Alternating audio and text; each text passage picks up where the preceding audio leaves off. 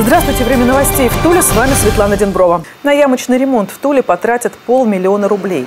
На сайте госзакупок размещено объявление об аукционе. Заказчик – Управление по транспорту и дорожному хозяйству администрации Тулы.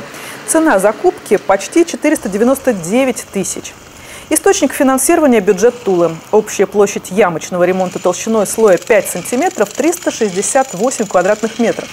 Вот общая площадь ямочного ремонта толщиной слоя 7 см 85 метров квадратных. Администрация Тула возьмет кредиты в сумме 600 миллионов рублей. Объявлено сразу 4 аукциона на оказание банковских услуг на открытие невозобновляемой кредитной линии.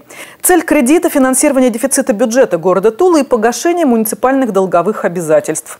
Выборка кредитов осуществляется с момента заключения контракта до 1 сентября 2018 года.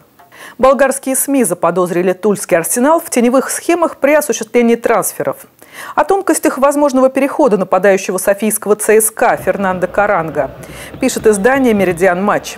В сообщении говорится, что Арсенал готов заплатить за игрока 5 миллионов долларов. Однако в Туле попросили 30% от суммы вернуть обратно.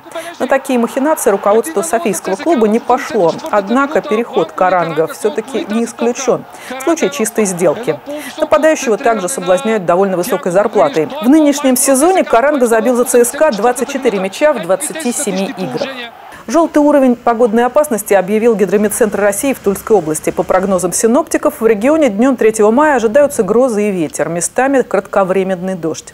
При грозе порывы ветра будут достигать 12-17 метров в секунду. При этом столбик термометра поднимется до плюс 28 градусов. Это все, что мы успели рассказать к этой минуте. Больше новостей вы найдете на нашем сайте tsn24.ru. Узнавайте о самых главных событиях Тулы области вместе с нами.